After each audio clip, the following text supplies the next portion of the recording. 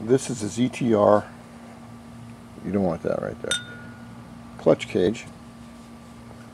Or what they call in the business a clutch basket. What it's used for is disassembling the clutch. I've seen three different types.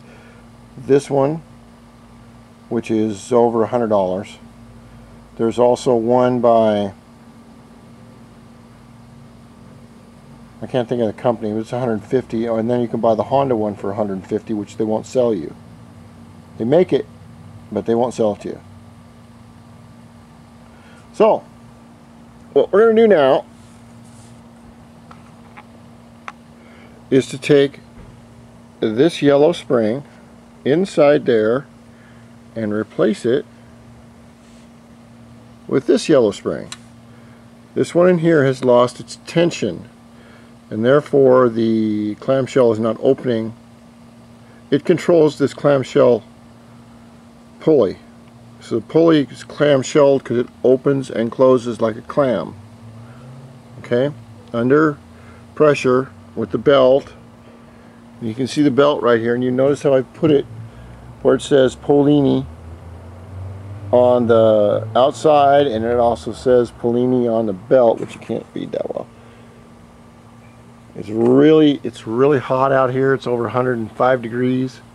It's really cool. I like it, as long as I'm not working in it. I've taken my cat. This cat's been driving me crazy. I don't know what's wrong with her. Look, just go do something. Yeah, you. I've taken the um, the nut loose with my um, 39 millimeter wrench. You can also get a socket which costs a lot more money if you'd like and you can hook it up to a socket deal and, and get this loose. Once you get this loose all you have to do is just get it loose and we put it in the cage itself by unturning this unturning that's a good word by loosening this to where you can get the clutch in and then we tighten it up to where it compresses the spring against here after when after you get that to where it's going to do that then we turn around and just your finger you can take off the nut. And there'll be nothing holding the clutch unit together. And it's all remember it's all under spring tension right here okay? So you want to be careful about that because it can explode and fly off and it, it, it can wreck your day if you're not careful. So then what I do, and I should be probably standing up. It really kind of sucks because I promised my wife I wouldn't drink any more beer. And, you know, that's the problem with wives is that they just don't understand high performance racing bikes and beer. I mean, is it me? I mean, is it is it me? Fuck, I don't think so. But oh well. Then what I do is I'll get my trusty, uh, what do they call it, crescent wrench. And of course it's not been fitted on here so I have to ad-lib for a while. My hands are shot. I'm going in for surgery here in August.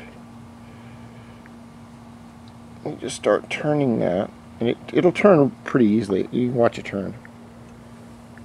Now when you do something like this and you got it on camera and you want to say okay watch me turn the bolt you want to have the the bolt and your hand in the same shot in order to prove that you're actually turning it. See?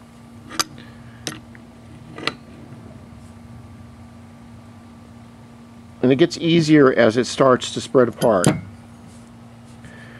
and you can watch as the uh, uh, now I'll do it with my hand. Again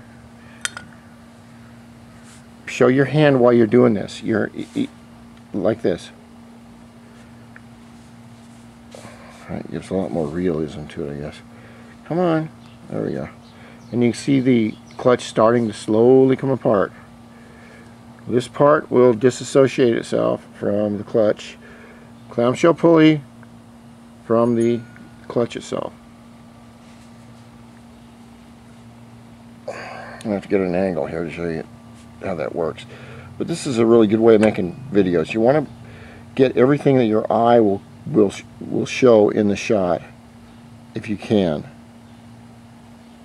Because if you just show this and go, look, I'm, oh, I'm turning it, I'm turning it, I'm turning it, but you don't show your hand doing it, it doesn't look right. So you just want to turn and talk at the same time. Tell your audience what you're doing. The, the, clutch itself starts to, to uh, stay right here.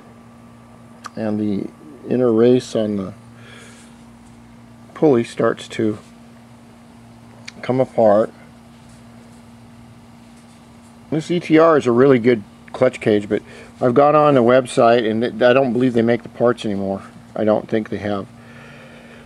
I think the um, recession of 2008 just a lot of people just washed them out of business. I have to have surgery on my right and my left hands, so that's one reason I'm kind of slow at this. But you, you can see as it pulls apart. What it'll do is um, the the spring, the old spring, will fully decompress, and then this will just fall into the um, white towel there. And I have to change them once every about the spring, the, the yellow spring, about every 700 miles. 700, ouch, damn it. Hands hurt. I have trigger finger in four of my fingers and it's it's painful. It has to be surgically fucked with. But, you know, that's what you get for being almost 60 and getting old. Getting old is not is not that fun. And there's a lot of uh, really good parts about it, but that aren't. Okay, now we're, as you can see, this is coming right off. And now we've, we can basically pick pick this up. See? Just like that. And the whole thing falls apart. I'll show you the difference between a good spring and a bad spring. We'll on the next video. So we don't want to have anything in, in the way of to show you the difference between a good and a bad spring. This is the difference between a good and a bad spring. You can tell where the good the good spring has got a lot of tension. It's taller than the spring that is old and worn out. Once you go to do this, and you take your bad spring out, this one, stop your video.